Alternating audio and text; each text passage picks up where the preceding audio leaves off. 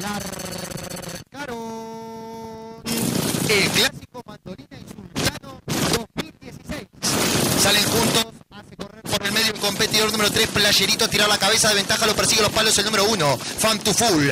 Ubicación abierto, lo viene haciendo el competidor número 10, recomendada. A tres cuarto cuerpo viene ganando posiciones el número 7, La Callejera. Tres cuarto cuerpo los palos, lo viene haciendo el número 2, Luna Campera. Vamos a enfrentar los últimos 220 al frente